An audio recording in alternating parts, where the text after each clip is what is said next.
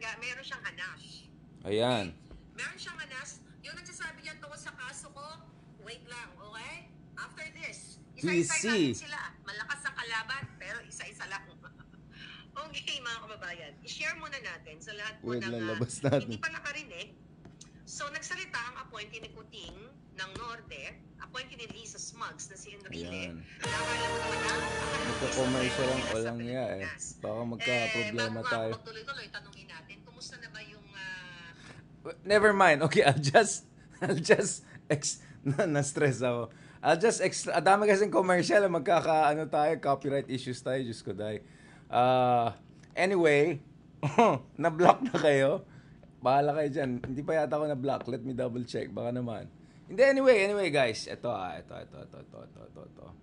Paki-check yung kanyang response kasi ang pansin ko sa kanya, ang dami mga side comments, meron pa yung mga biglang ma- baka mapunta naman sa Chanel, mga ganyan ang topic. But ito lastly guys ha, ito na lastly. Okay? Don't worry, ipopost ka.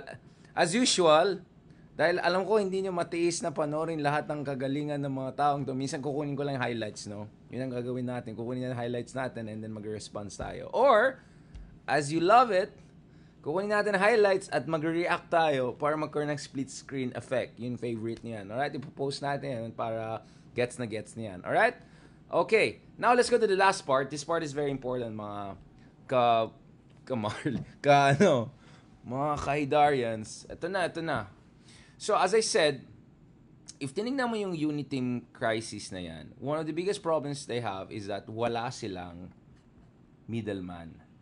Wala silang tao, or middlewoman for that matter. Kasi sabi ko nga, kung tinignan mo si Ma'am Arroyo, well, base sa intelligence na nakuha natin kay Mark Gamboa, mukhang she already, uh, parang na-sense niya yung, saan yung inip ng hangin, 'di ba So, mukhang she's not challenging na the leadership uh, as much as some people would expect her.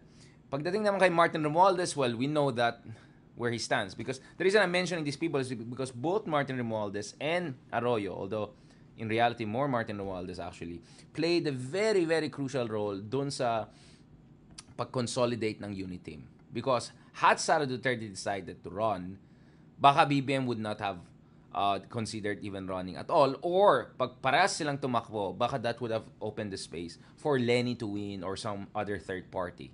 So, bringing those two groups together was a very important part and you needed to have an intermediary. Alright? And actually, base sa, sa pagkaalam natin, Martin Romualdez was the key, fa- uh, key factor there. But, to a certain degree, Tita Arroyo was also involved in that. Uh, but not to the degree na kiniklaim ni super political analyst, expert, intelligence source na si Shian Gaza. Alright? Okay. In fairness, si Shian Gaza, tama siya dun sa mga ibang hanas niya. Lalo na yung, yung bardagulan na nangyari sa, sa poblasyon. Pero yung mga political hanas niya, nako talagang sablay na sablay. Anyway, um, so that leaves who else?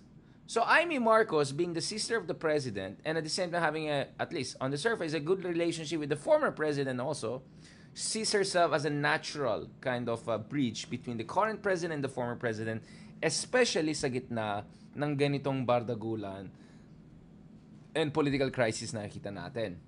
So, not long after that whole weird uh, you know, rant, whatever, you know, incitement to rebellion, even some would say not only weird but potentially criminal, uh, and all of those, well, last time I checked, baseless accusations against the president, uh, and uh, oh my goodness, all the other hanash. I mean, Marcos came in and said, uh, no, no, no, this is not the end of the story. Uh, nakausap ko naman yung mga tao, mga kaibigan natin dyan sa Davao, and in particular, the current mayor of Davao who happens to be of course Baste no? So following yung mga sharp statements no at yung mga exchanges incendiary uh, rhetoric from President Duterte and also the exchanges and the response from from BBM etc sabi ni Amy Marcos this is her claim na nag-apologize daw yung mayor ng Davao sa kanila. Or I mean uh, nag nag-apologize dun sa kanyang call for um sorry na distract ako kasi inisip ko pa rin yung Buljak TV kanina. Okay. Well, okay. Okay, back. We're back. We're back. Okay. Ito, ito. So, so, ang claim niya ni Marcos was she kinda intervened to make sure na things do not get out of control because after all, of course, mahal niya yung kapatid niya who happens to be president. At the same time, she's very good friend of the Dutertes, especially the former president. Now, one of the things na uh, at least nakakabahala dun sa ibang tao is that you cannot dismiss what happened in Davao as just a Duterte thing because even the son, even the mayor of Davao, even another governor, Alvarez among others, uh, were more or less on the same note or, or were not necessarily disagreeing dun sa mga most incendiary comments by the president, right? Okay? So in light of that, ang claim was afterwards nagkaroon ng apology. So e- ito yung kine-claim ni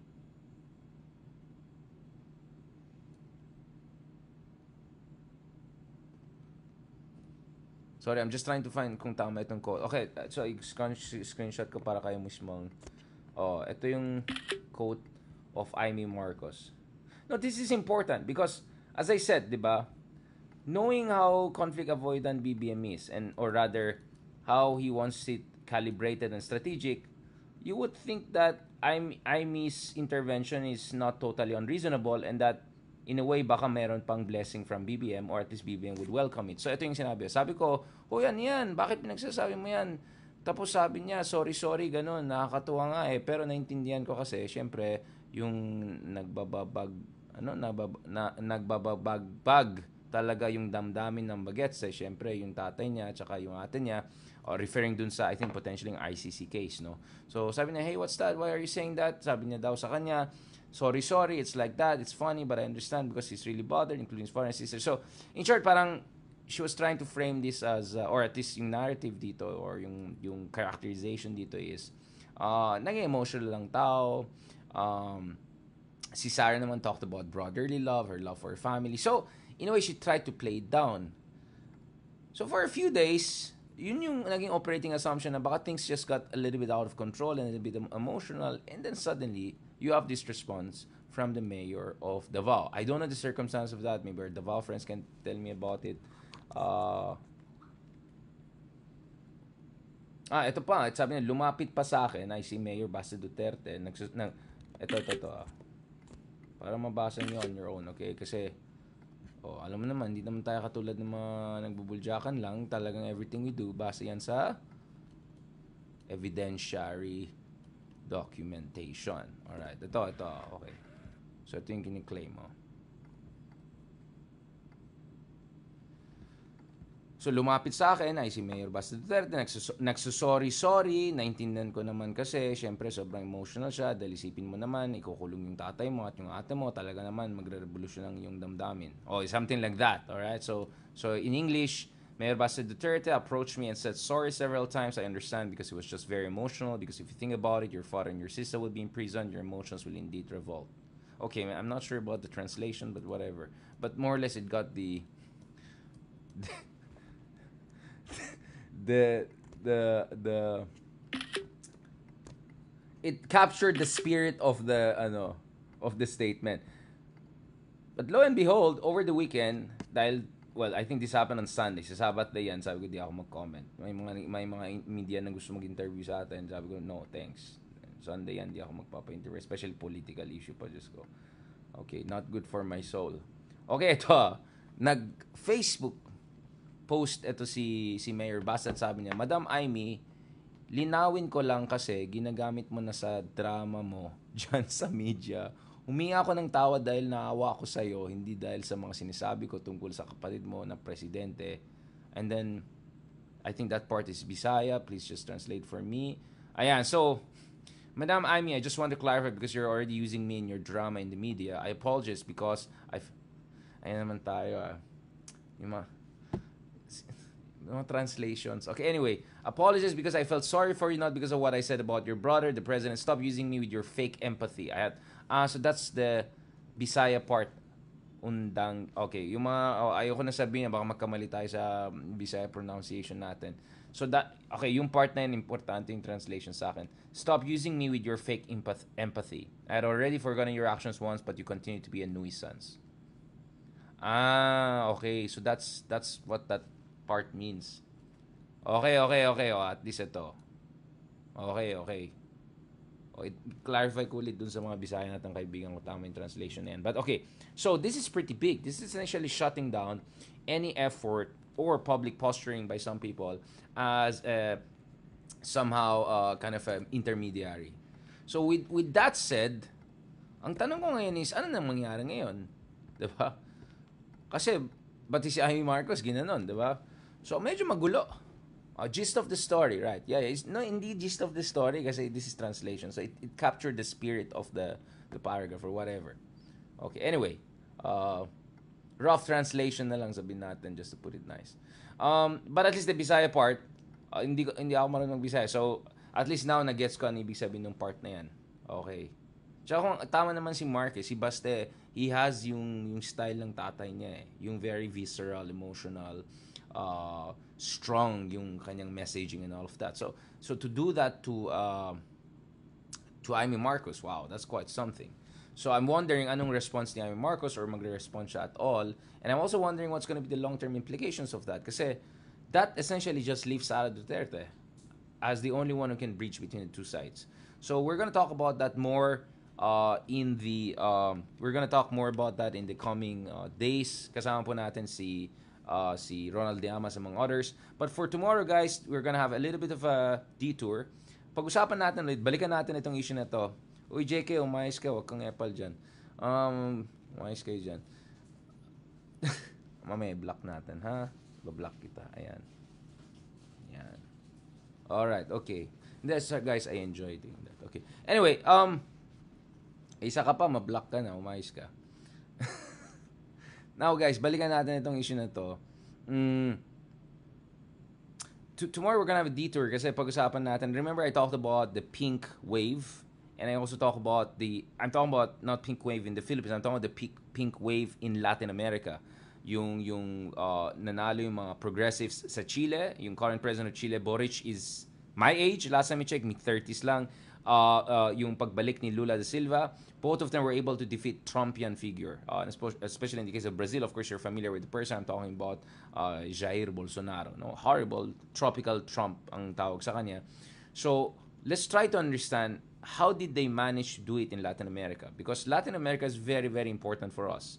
Yung kasaysayan natin, yung connections natin, and more importantly, yung circumstances natin. Kasi kung tinignan nyo, kung tinignan nyo, guys, kung tinignan nyo, yung circumstances sa mga bansang yan, yung inequalities, corrupt politicians, disaffection with state institutions, broken public uh, transportation, uh, high levels of poverty and hunger, high concentration of wealth among few people, the whole codillo, haciendero, political dynasty problems, mas similar tayo sa Latin American countries kaysa yung mga ibang Asiano na bansa. Ang layo natin sa Japan, Korea, yung mga ganyan. Malayo rin tayo sa mga maraming, uh, maraming kasama natin sa Southeast Asia. So to be honest, I think we are more more similar with Latin American countries. So tomorrow we're going to talk about uh, Philippine, Latin America, with someone from the region from Latin America, uh, someone who was an ambassador to United Nations, someone who knows Latin American affairs very well, and someone who also cares uh, and loves the Philippines. So there's a lot that we can catch up on. Okay, let me also block this. Okay. And one bad comment, you guys are gonna be blocked here, okay? Wala tayong time dito for basura, okay? I want to keep my comment sections as clean and good as possible. So don't test me, okay? One bad comment, you're done. Because hindi namin kailangan, okay? Alright, okay. Anyway, wala na, block na yan. Relax ka lang. si Axel. Alright, so please uh, watch, uh, stay tuned dun sa interview natin tomorrow and then we'll also try to catch up with our very good friend uh, and uh, of course co-host R&R Ronald Llamas and then hopefully also soon catch up rin tayo with uh, Lele Claudio and other experts for more big picture analysis. On that note, thank you very much. Maraming salamat. Pasensya dun sa mga technical issues, sa mga delays, etc. Ganun talaga. Pag nakabalik ka sa third world, biglang gumana ito, hindi gumana ito. Wala naman production. So again, thank you very much from the country's number one po- political podcast with the caveat that, well, sometimes kahit hindi mag number one, at least number one na hindi produced. na political podcast, alright? Thank you very much. God bless and uh, talk to you soon. Thank you. Thank you again for your kind support and all. Again, please, okay, magano tayo. Vlogger style. Please subscribe to my channel on YouTube, Richard Hidarian Vlogs. Subscribe also to TikTok, Richard Hidarian 007, and subscribe sa Facebook. Libre lang po yan, Richard Foronde Hidarian. On that note, thank you very much. God bless and talk to you soon.